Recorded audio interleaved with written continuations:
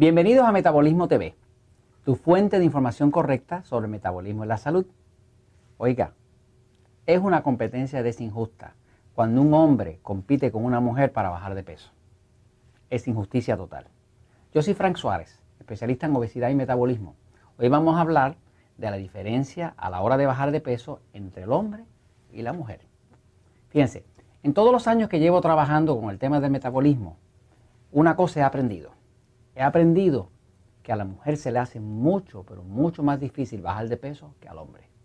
Vamos a ver un momento cuáles son las diferencias que hacen que eso sea así.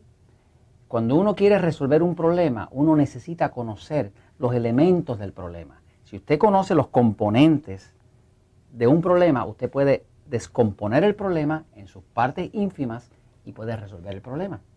Siempre la mejor forma de resolver cualquier problema es lograr entender más sobre el problema. De esa forma uno encuentra la solución.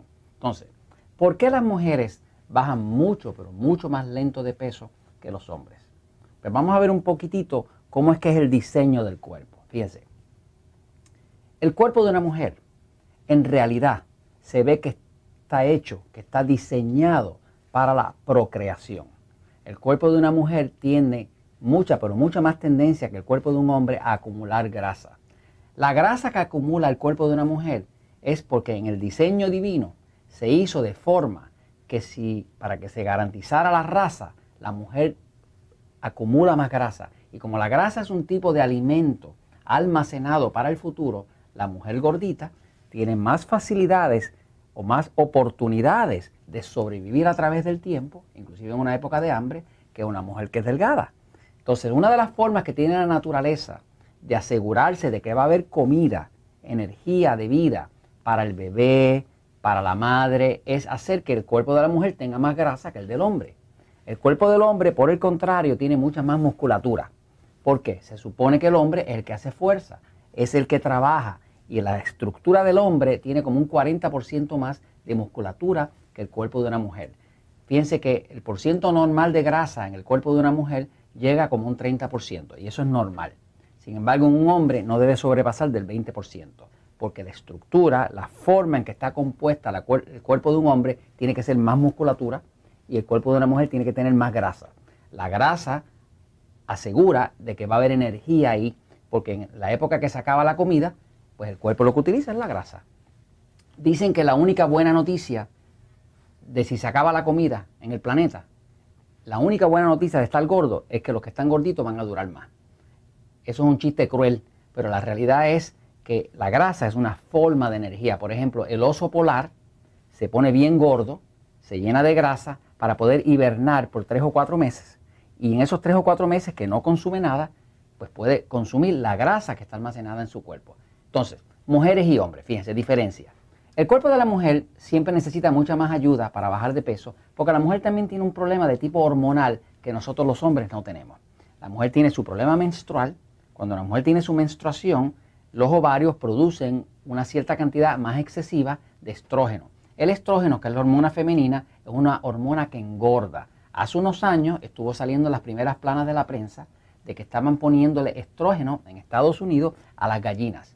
Los americanos son muy buenos buscando formas de engordar los animales y habían encontrado que si le ponían estrógeno en los alimentos a los pollos y a los cerdos, pues los hacían engordar. Y como esos animalitos dejan dinero según cuánto pesen, mientras más pesados estén, más gorditos, pues más dinero dejan. Entonces eso se llegó a prohibir, pero la realidad es que por mucho tiempo estuvieron poniéndonos estrógeno en el pollo, en el cerdo y demás. Inclusive hubo un problema en Estados Unidos de que jovencitas eh, mujercitas jóvenes, eh, teenagers, muchachas jovencitas, 12, 15 años, tenían eh, un desarrollo de senos excesivo, progresivo, simple y sencillamente porque estaban consumiendo pollo que contenía una cierta cantidad de estrógeno. Y como el estrógeno hace crecer las glándulas mamarias, pues entonces estaba creando cierta deformidad en sus cuerpos. Por eso fue que eso se prohibió.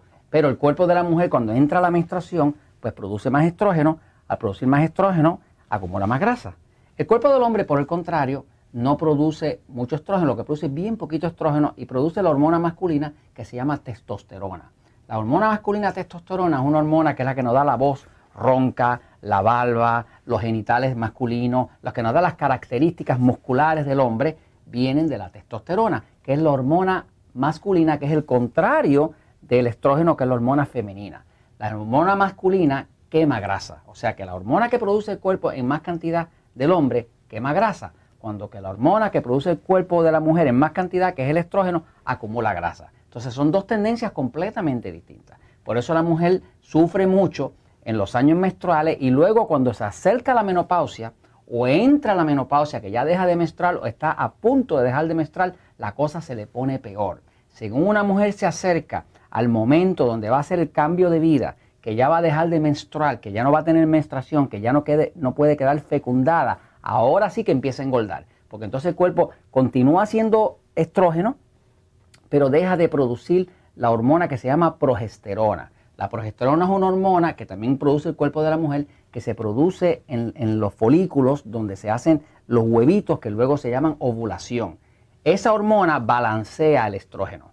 Al quedarse el estrógeno solo, entonces empieza a engordar de verdad. Por eso que muchas mujeres que se acercan a su menopausia notan que se les pone la cadera ancha, el abdomen eh, crece, los glúteos, y entonces la mujer se le hace imposible adelgazar.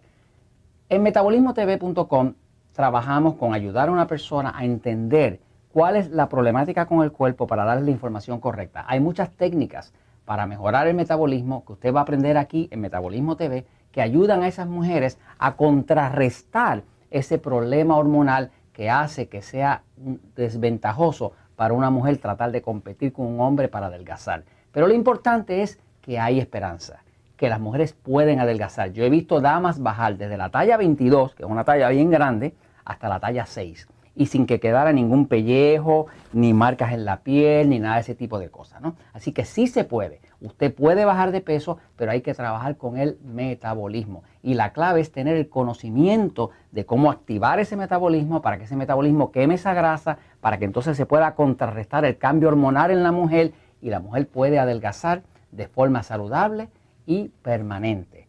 Y eso es verdad. Y eso es la verdad, porque la verdad siempre triunfa.